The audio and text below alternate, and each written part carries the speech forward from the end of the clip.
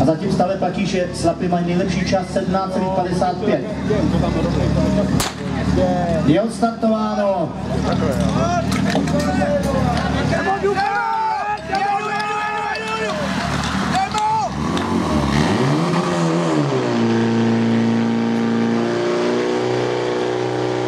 Thank you.